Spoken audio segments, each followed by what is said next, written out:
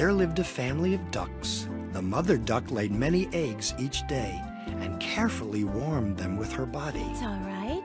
You can come on out.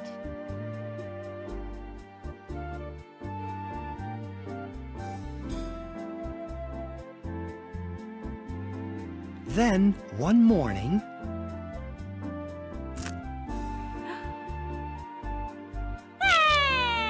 with a crispy crackling of their eggshells, a brood of cute little yellow ducklings popped out, one after the other. But one large egg remained unhatched. What's the matter with this one? It's the only one that won't hatch. The lady duck next door had a theory. That one's probably turkey egg. No point warming it. It won't hatch. You'd best get rid of it. No, I think that if I warm it a bit more, it'll hatch. I'll give it a try. said the mother duck. Three days passed. Almost overnight, it seemed. The little yellow ducklings became expert paddlers, swimming all over the pond. But the mother duck patiently waited for the remaining large egg to hatch.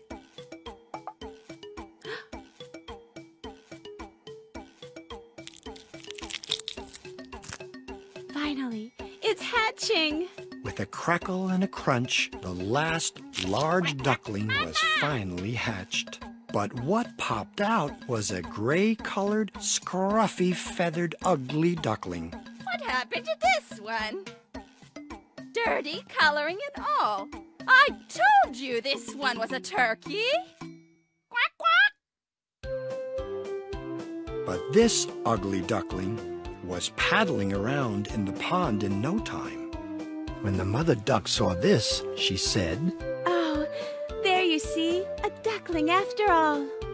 and she raised the ugly duckling with as much care and love as the other ducklings. To be a duckling. Get lost. The other ducklings would peck at the ugly duckling with their beaks. They'd even steal his food. They simply wouldn't accept the ugly duckling as a member of the family like themselves.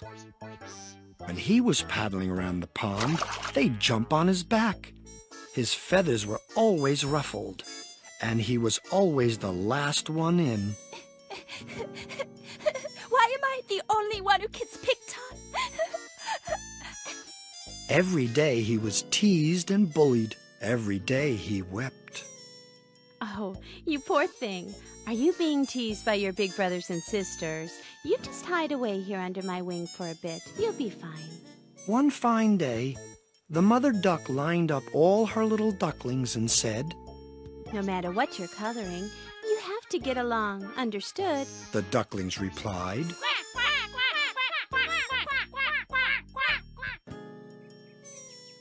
ducklings call the ugly duckling into a field full of ripe yellow wheat. Hey, I'm over here. Hey, hey, hey, hey, over here. With their yellow coloring, the other ducklings could hide better amidst the yellow wheat, but the ugly duckling's hmm? gray coloring stood out. In tag or hide and seek, the ugly duckling was always it. Looking into the pond, the ugly duckling could see his scruffy image. Isn't fair. It isn't fair.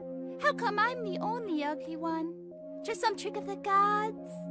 Looking at the yellow wheat field and the farmland that seemed to go on forever, the ugly duckling thought that somehow there must be some friend for him somewhere. He plucked up his courage and told the mother duck how he felt. My, a voyage! But there are so many dangerous things in the world.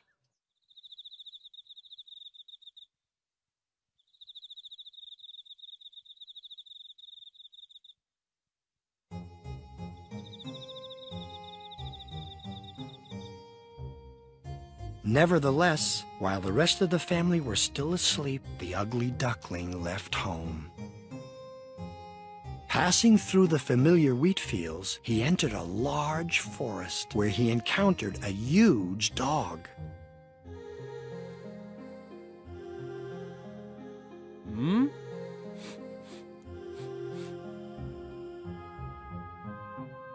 The dog stared at the ugly duckling, then went on his way. I'm so ugly. Even the dog can't stand looking at me. The ugly duckling grew sadder and sadder, but he kept prodding along. Finally, he came to a small house.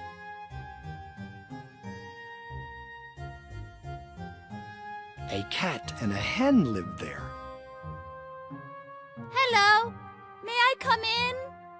He asked the cat.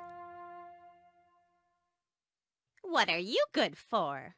I can swim. If it doesn't help catch mice, it's totally useless. Can you lay a lot of eggs? If you can't, who needs you? The cat was furious, the hen ill-tempered. That night, the ugly duckling slept out back on a bed of straw. Looks like there's just no place for me to go. It was so cold in the straw. The ugly duckling shivered all night. The next morning, the ugly duckling left that house. He walked for days and days.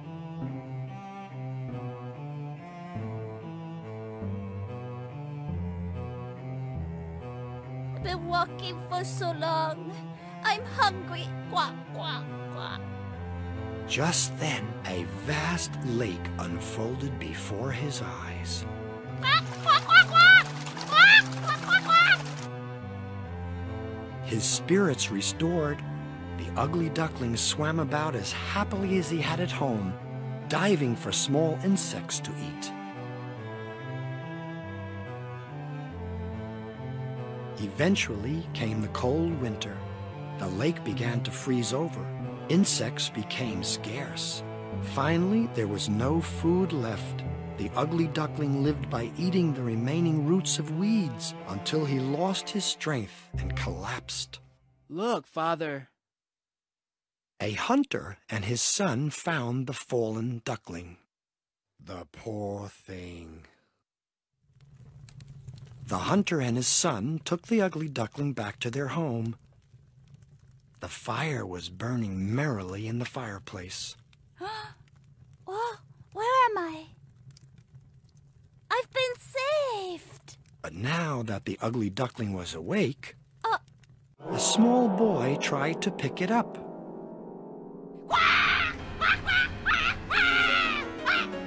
The ugly duckling had grown much larger since it was born. It spread its wings and beat them about, knocking over a vase and sending the tableware and a sack of flour flying. Hey, stop! Thinking that the hunter's son meant to bully him, the ugly duckling fled in a panic.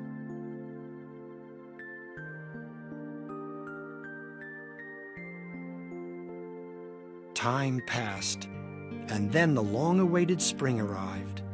Insects and fish returned to the lake, and now the ugly duckling had grown big enough to catch fish. In the spring sunlight, a flock of giant white birds came to the lake and landed there one after another. They were exquisitely beautiful, with pure white feathers. Ah, what beautiful birds. I wonder if they would be friends with me. They'd probably turn me down, but it doesn't matter. I'll be brave and ask them anyway. So the ugly duckling addressed the beautiful white birds. Please, let me join you. What do you think happened? Oh dear, you're all alone. Do come swim with us.